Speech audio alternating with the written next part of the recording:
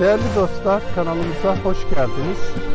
Bugün Balıkesir Manyas Dura mahallesinde 6 dönüm kadastrol yoluna cepheli güzel bir tarlamız var.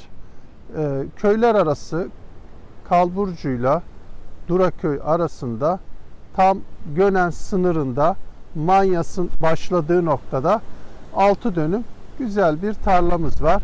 Resmi yol yaz kış aracınızla tarlanın içerisine kadar girebilirsiniz. Bakın yol böyle devam ediyor.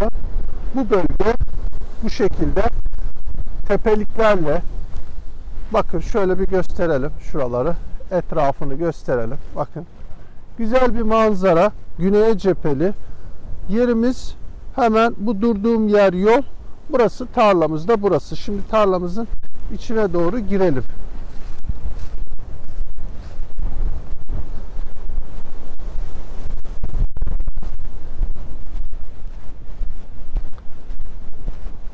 Evet tarlamıza buğday arpa tarzı mahsuller ekiliyor. Hemen bu ağaçların olduğu kısım az önce durduğumuz yol kısmı. Ağaçlar tarlayla yol arasında tarlaya böyle güzel bir kapatmış burayı. Yerimiz burası. Bakın. Güzel bir manzara. Güzel bir doğa. Olduğu gibi dağlar, tepeler, bayırlar, ormanlık alanlar. Aşağıda Manyas Ovası görünüyor. Şimdi yerimizin sınırları tam olarak bakın burada bu çalılıklar var. Yani bu sürülü alan görüldüğü gibi buradan böyle aşağı doğru iniyor. Diğer sınırımız da hemen şuradan kesiyor. Yani dikdörtgen şeklinde ada parsellerini paylaşacağım. Uydudan bakabilirsiniz. Toprağı güzel bir toprağı var. Görüldüğü gibi ekilen bir toprak. Evet. Biraz şöyle yürüyelim tarlamızın. Diğer sınırını da göstereyim ben size. Diğer sınırımız da buradan kesiyor. Evet buraya kadar geliyor görüldüğü gibi. Şöyle yol kısmı diğer burayı gösterelim. Diğer sınırı gösterelim. Bakın bu otların olduğu kısım. Yerimiz böyle aşağı doğru dikdörtgen şeklinde gidiyor. Bakın güzel bir manzara. Hava da güzel. Bayağı da bir rüzgar var bugün. Evet şöyle biraz aşağı doğru ilerleyelim. Tarlamızı biraz daha meyilli kısımlarını gösterelim. Biz üst tarafında yaklaşık bir iki dönüm, üç dönüm yer böyle düzgün, hafif meyilli.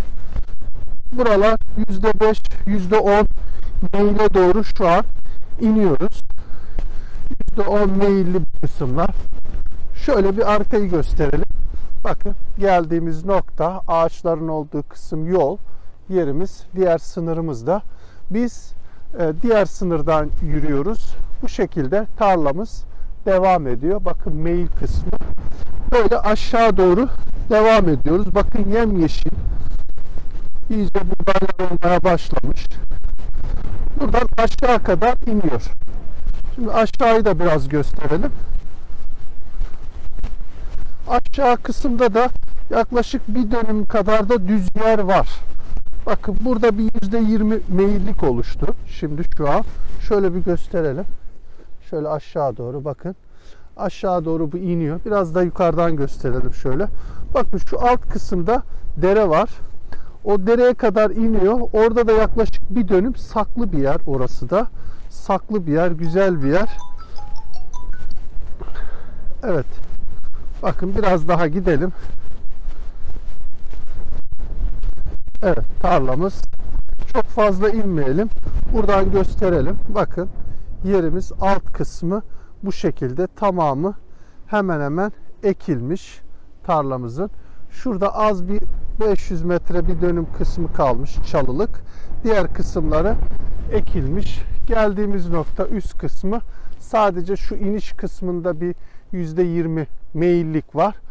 Buralarda görüldüğü gibi kullanılabilir. Bu kısımlara ağaç ekilebilir. Buğday, arpa tarzı mahsuller buralar e, ekilmiş zaten. Siz buraya meyvelik yapabilirsiniz. Meyve ağaçları ekebilirsiniz. Bu alt kısmı farklı kullanabilirsiniz. Aşağıda kuru bir dere var. Orada suyu biriktirebilir. Belki oradan suyu da çıkartabilirsiniz. Suyu çıkartırsanız çok güzel bir meyvalık olur burada. Efendim toprağı kalın toprak, kaya falan yok. O yönden de meyveye uygun veya hobi amaçlı alır.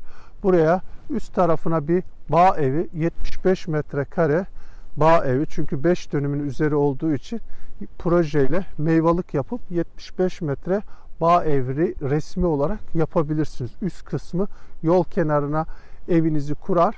Burada yazları gelir 6 ay 8 ay kışın da kalabilirsiniz. Tabi kışın daha zor olur. Elektrik olmadığı için buraya bir güneş enerjisi güneş paneli koyarsınız. Zaten güneye bakıyor.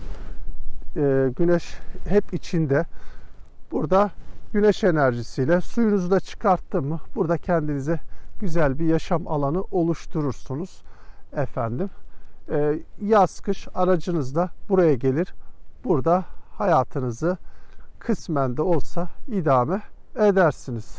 Evet yerimiz bu şekilde. Alt kısımlar bu kısımlar %20 meyille %30 hafif şuralarda meyille alt kısmı da düzleşiyor. Yerimiz bu şekilde. Değerli dostlar şimdi şöyle yukarıya doğru çıkalım.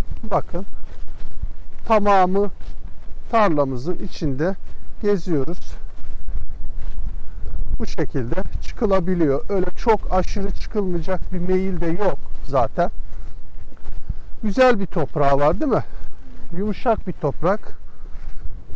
6 dönüm bu tarla fiyatı 50 bin lira mal sahibi 50 bin lira istiyor yola cepheli ev yapmaya uygun elektriği olmayan suyu sondajla çıkarılabilir gibi görünen bir tarla burası evet burası satılacak satılır mı burası Burcu? Satılır inşallah. Evet inşallah satılır işine yarayan birisi burayı alır. Burayı değerlendirir. Evet 50 bin lira bu tarla şöyle etrafı gösterelim. Doğayı gösterelim. Kış geldi. Ağaçlar yapraklarını döktü. Farklı bir atmosfer oluştu. Şu kısımları sağında da tarlalar var böyle birkaç tane. Bunlara da buğday ekmişler. Evet. Değerli dostlar bugünlük bu kadar.